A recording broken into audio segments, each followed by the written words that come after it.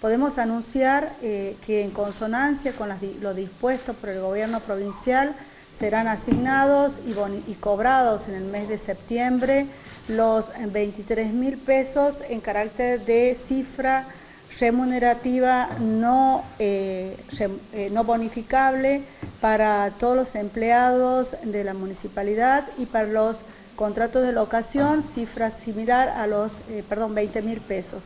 Es decir, que en este sentido para nosotros es muy grato poder seguir avanzando y sobre todo siguiendo una línea de trabajo que viene realizando esta mesa de diálogo eh, y trabajo en Santiago del Estero que va caminando siempre en consonancia eh, con una decisión y acorde a lo que eh, cada municipio obviamente puede afrontar y en este caso los equipos técnicos de la municipalidad han trabajado para poder hoy llegar a anunciar esta medida.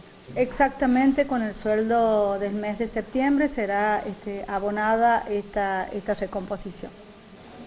En este momento que todos hablan de una paz social, pero poco hacen para sostenerla, hoy estamos aquí para dar un anuncio económico que va reflejado también una tranquilidad y una paz social a todos los compañeros y compañeras eh, municipales de la ciudad capital. No hace muchos días, en este mismo salón, junto con la intendenta, anunciamos una mejora. Hoy nuevamente estamos aquí, anunciando realmente algo muy positivo que, va a favorecer el salario, eh, que va a favorecer el consumo. Por eso, recién al pasar eh, la responsable de esta ciudad, la ingeniera Norma Fuente, decía algo eh, muy profundo, que habría que analizarlo, pero no es momento, es momento de aplaudir, no de analizar situaciones. Pero este aplauso viene porque hay una situación económica, financiera, eh, muy responsable desde su persona con su funcionario en la municipalidad, por eso estamos haciendo hoy este anuncio. Así que nosotros queremos agradecer en nombre de los gremios aquí presentes, en representación de todos los empleados municipales este esfuerzo económico y esta puesta y esta puesta a favor de, los municipales en la parte económica. No solamente eso, también se dispone desde este municipio en la seguridad laboral, que no tendría nada que ver un incremento salarial si no hay una seguridad laboral.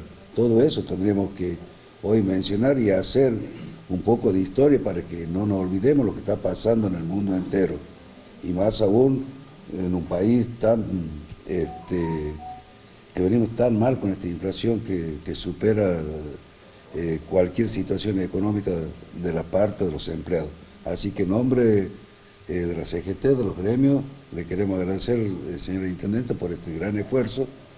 Y bueno, yo le quiero comentar también a ustedes que voy a emplear una frase que hemos empleado en la Casa de Gobierno. No, esto no es un punto final ni un punto aparte.